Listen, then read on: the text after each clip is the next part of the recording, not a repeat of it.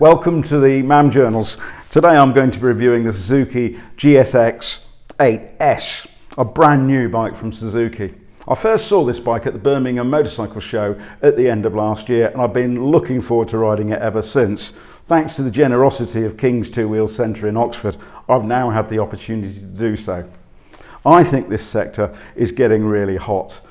The Yamaha MT-07 has really dominated it for the, the previous years and it's nice to see a bit of competition come into the market space with both this bike and indeed the Honda Hornet.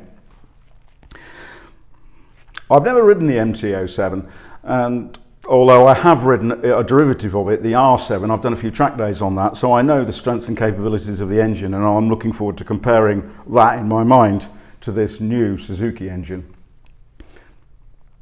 To give you a, a feel um, for the bike and, and, what it does, I think the best way for, for me to do it is I'm going to do a technical walk around and we're going to talk about the new engine, we're going to talk about the chassis and the dimensions of the bike, we're going to um, have a look at the technology that they fitted to it and then finally I'm going to go through and talk about some of the aesthetics and some of the general finishes on the bike. I'm then going to take you um, on a GoPro ride with it and you can see how I was finding it and what my thoughts were in terms of its handling and its power and capability. Finally, I'm going to come back here and give you my concluding thoughts as to what I've made of this brand new Suzuki. I do hope that you enjoy the video. I always think the best place to start on a technical walk round is the engine and I think we should spend a bit of time on this because this is for Suzuki a brand new engine. It's a 776cc liquid cooled parallel twin. It's got two overhead cams and eight valves. Now, most of us have ridden twins when we were younger and one of the challenges they have is they can vibrate. Indeed, some of the very early twins were famous for, for dropping parts along the road as they went, as they vibrated off. And these vibrations come in two forms. They come in what's called primary and secondary. Now, to help adjust and improve on that, they've gone through various crank designs, i.e. pulses of the engine, and they've had, most of us have probably ridden a, a 360 degree twin where both, both pistons are coming up and going down together.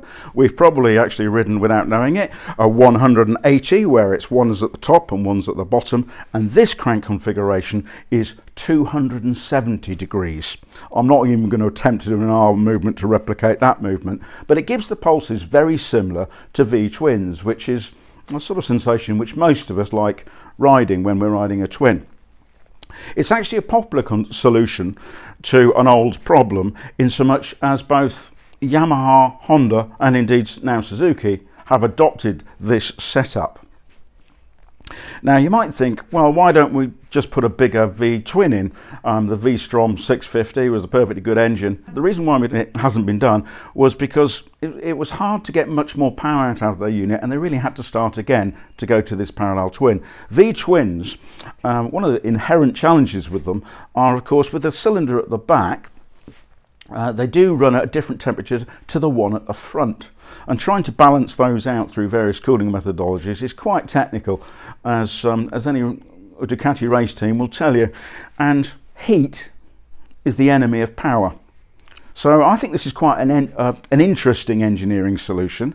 And if, any, if, if, as I say, you have ridden uh, a twin and said, well, I didn't like them, you should definitely try one of these new style former engines because they have made big steps forward. Uh, this configuration in itself does not completely eliminate vibrations and therefore they put balancer shafts on, as indeed they do on, on all twins, or the majority of twins that I can think of. Um, and this particular one has two balancing shafts, one for each cylinder, to help smooth out those primary and secondary vibrations. Um, it's a first for Suzuki. I don't actually think it um, the twin balancing shaft is new. I think the Yamaha TDM 850 had twin balancing shafts as well, but correct me if I'm wrong. Now, going through the technicalities of it, what does it actually produce? Well, this engine produces 82 brake horsepower at 8,500 revs. Uh, but more impressive for me, it produces 78 newton meters of torque at 6,500 revs. Now, that's an impressive number. And there's, a, there's an old joke about um, brake horsepower is how fast you hit the wall, and torque is how far you move it. Now, in the real world, if you're going down the Hangar Straight at Silverstone circuit, there's no substitute for brake horsepower. But if you're on the A361 to Banbury, torque is your friend. And we'll touch more on that when I actually talk about what the bike was like to ride. So let's talk about the chassis. Um, I think one of the advantages for me is that at five foot eight is that this bike is actually quite small in terms of its dimensions. Uh, you don't, you certainly don't need a step ladder to get on it, which is a refreshing change from some of the bikes in the market today. But obviously that depends on how tall you are. And some people will like the fact that this is quite a petite bike and some won't. If I turn that into numbers, um, the seat height is 810 uh, millimeters, which is, you know, in my mind, perfect for a rider of my size. It's got medium geometry. It's not a sports bike in terms of its handling and performance, nor is it a tourer. Um, I know some some of you probably get a little bit glazed over when I start talking about dimensions, but I, I, feel the need to actually sort of explain those comments with numbers. It's got a 25 degree rake, it's got a 1465 millimeter wheelbase, i.e. the distance between the, um, the touch points on the tyres. Um, it's got upside down forks. I actually, partic- it's unusual to see them in, in that metallic sort of silver look. Uh, most of them are anodized um, shades of gold or black nowadays. So I, I personally like that. Um, it's got no suspension adjustment on the front. You, it, it is what it is. And on the rear, you have a link type coil spring oil damped in there. There's no adjustment on that other than preload. So um, we'll see how they got on with getting that right when I talk about the riding. It's, fitted with 17 inch wheels, front and rear, and it's got uh, 185 55 tyres on the back and 120 70s on the front.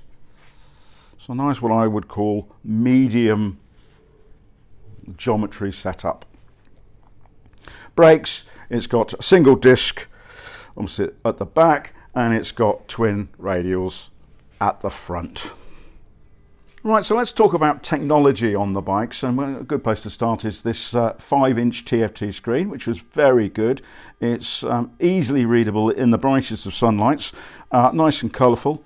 And I quite like the the sort of layout and the adjustment controls on, on these Suzuki's. But in fairness, it's about familiarity uh, and regular uses. I've got four Suzuki's, so I'm pretty tuned in to how they think and how they operate them. So you can change on the mode. You can see there I'm changing the traction control. It's got four positions. It's got off, one, two, and three. I tended to run it at two, although I did try it in some of the lesser uh, modes as well. And in terms of power, you've got all of the power that it's got quite promptly in the A mode. You've then got a B mode, which is softer, and I guess the C mode, which you won't be surprised to hear I never actually bothered trying, which is probably for very wet conditions. Although I can, I always, I always think I can sort of ride around with this stuff, but I guess it depends on how you like your, your power to be delivered. So it's good that you've got those options. One of the nice things about this bike, so you can't really see it very well, I'll probably do it better with it. Actually, not too bad. when I get down there that you can see it, it's got a quick shifter. And Suzuki quick shifters are good. And I'll touch again on that when I'm riding. And that is up and down. They don't operate up until after 2000 revs and they um, coming down I think it's about 1700 revs when you can operate it but there's, there's a knack to, to getting the best out of the quick shift mechanisms uh, but it, it's a knack that's quickly acquired if once you have the confidence to have a go with it because I know that some people haven't ridden bikes with quick shifters. Um, whilst we're looking um, sort of at technology, I do like the, the fact that a lot of this stuff is very easy to access and to get at, which makes it an easy bike to sort of live with. Um, it makes you feel that the bike was designed by somebody that actually tried to clean one, which is always an asset. But um, I think it's a, uh, it's got a nice level of technology. It's not at the very top uh, of the technology available nowadays, but it's got a nice balanced approach to how it uses it. And it's useful, as I'll describe, when we come to riding. So moving on to finish and aesthetics. Um, there's an old saying that one man's meat is another man's poison, as some Roman bloke once said. Lucretius, if uh, if you're into that sort of thing. Um, for me, it's a little bit transformer-like, if that makes sense. But there are a few things I do actually really like. I love the look of the new engine. I think that's very purposeful looking. So I do enjoy that. I like the stubby exhaust. And as I touched on earlier, I do like the silver front forks. I think they uh, set it off nicely with that sort of black and silver look to it. Not too many mix and matches going on in there. Um, I personally don't think it's a pretty bike. I would describe it more as purposeful. But as I say, you may well look at that and think that is perfect. I do like this um, foot peg setup. Easy to clean, easy to get at and attractive. The a couple of things I wasn't entirely keen on. This was the the exhausts when they come from Suzuki are um, they look a bit corroded to be honest. Uh, but I, I spent uh, for filming I spent half an hour sort of getting at them and cleaning up, and they do clean up reasonably well. So I think if if you don't like the look of when they when you originally see it in the showroom, I wouldn't be too alarmed. You will be able to get that gleaming if you're of that disposition. Um, I think it's only fair to talk about sort of paint finishes and Suzuki I always think it's nice colour paint and they do it but it can be a bit soft I'm sorry Suzuki but it's, it's just just the truth really and any black is a particularly soft pigment and that doesn't matter whether it's Suzuki or anybody else it's just the nature of how you you get the black pigment to actually create it can do a soft finish so it can scratch quite easily. So I think if you're tempted by a black one and you because you like the looks of it you, you might be well advised to put a very hard coat of polish on just to protect it as soon as you get it. Um, so those that know me won't be surprised here. I've already done this one. I just couldn't stand the thought of scratching it.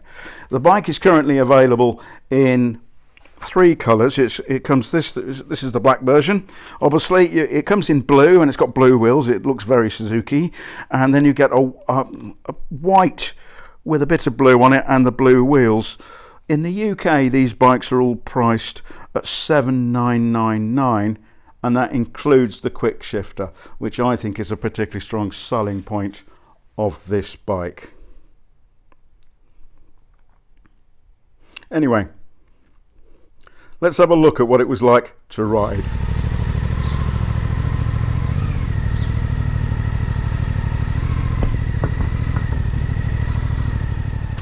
All of these new twins are fairly muted to fire up, although the 8S does as I explained earlier in the technical review, have the nice pulse of a V-twin despite its parallel twin configuration. It's all clever engineering. The bike feels responsive and the slow speed handling is precise and predictable. As you can see, it's easy to manoeuvre around these speed bumps and the bike goes exactly where you point it. Some bikes I ride are more vague and I did like the precision of the steering and handling on this bike. The firm suspension at this speed copes well with the numerous road repairs without a murmur. The predecessor to this bike is of course the highly regarded but now long in the tooth SV650. A good, solid, reliable V-twin, it has reached the end of its development. I rode one some years ago and was impressed with the engine but found that the suspension softer than I like. Great in the wet but to my mind not firm enough for a nice summer ride. I was pleased to see that the new 8S has significantly firmer suspension as standard. I will return to that later. The 5 inch TFT is clear and as I mentioned earlier, really easy to read in the brightest of sunlight. The uncluttered look of the TFT and the handlebar switches add to the feeling that you're riding a small bike and from the this, the cockpit perspective, it would be easy to think that you're actually riding a 400cc bike, until of course you open the throttle. Conscious that quite a few riders are yet to try a quick shifter, I thought it might be helpful to explain how they work. As we all know, to change gear conventionally, we pull the clutch and adjust throttle revs to match the gear ratios. A quick shifter performs both of these functions for you. Originally designed for high performance or race bikes, they used to be upward only, facilitating rapid changes on close ratio gearboxes. They have developed significantly over the years and are now good for both up and down transitions on the road with a simple tap of your toe on the gear changer. In my view, and I've tried quite a few systems, Suzuki's system is the best.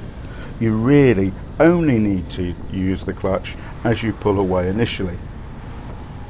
You can of course, if you wish, use traditional gear changing either randomly as you choose or entirely if you prefer.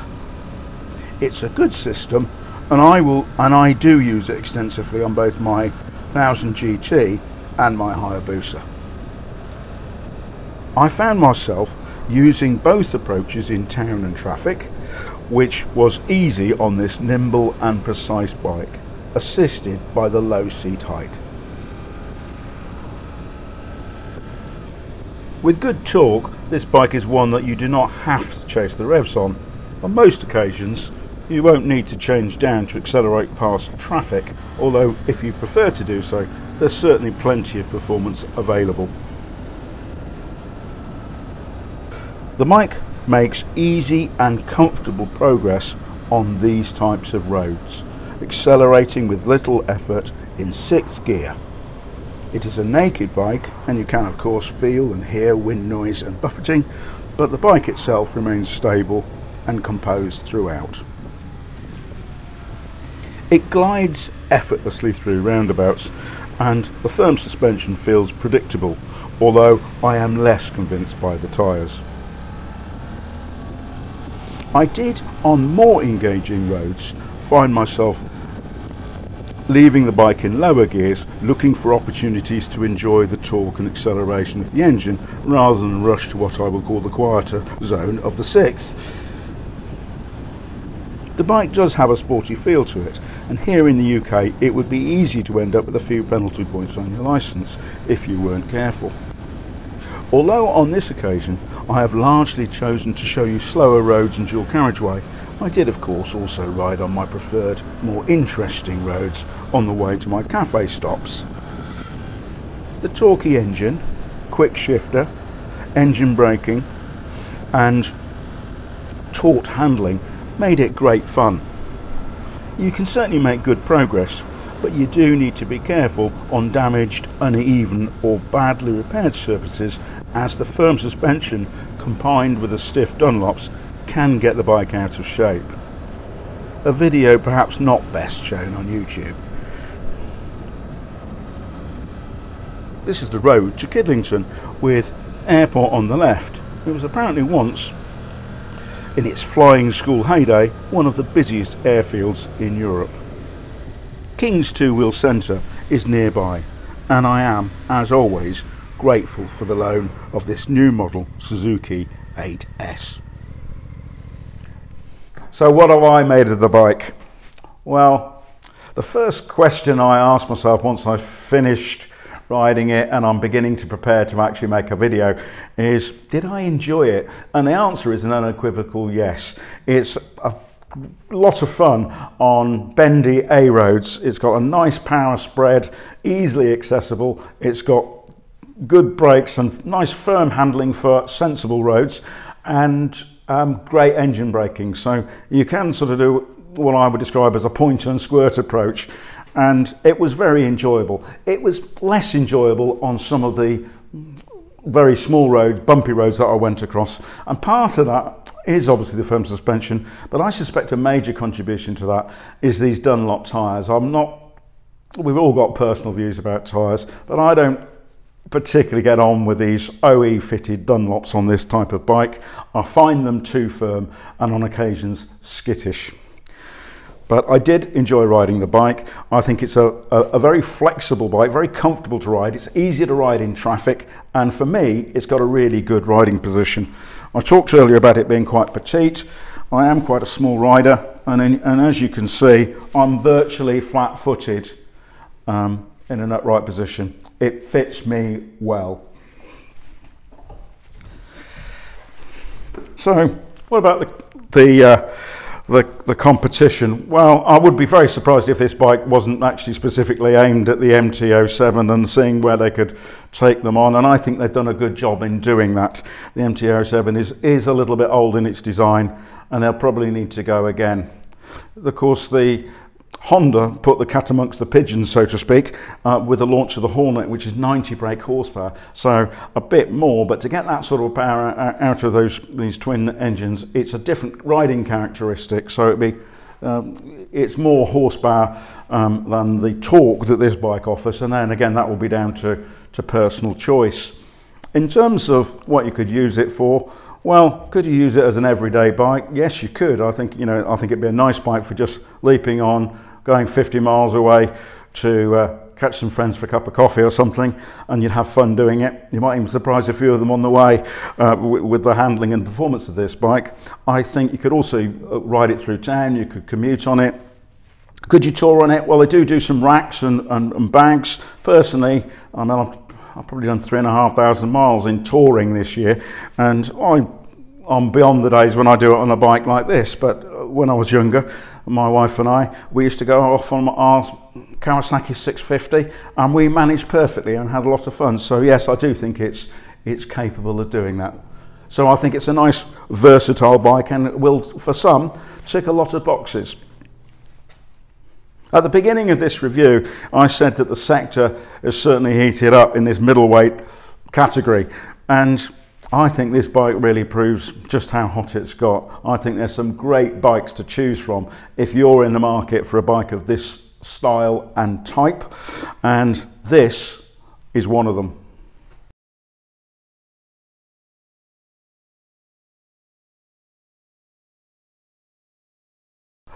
I do hope that you've enjoyed the video and uh, you found it useful. If you did, you might be kind enough to press like, or if you've not subscribed to the channel, consider subscribing. Um, but as always, I don't worry whether you do or don't do any of that. What I do hope that you do is that you ride safe and that you stay well.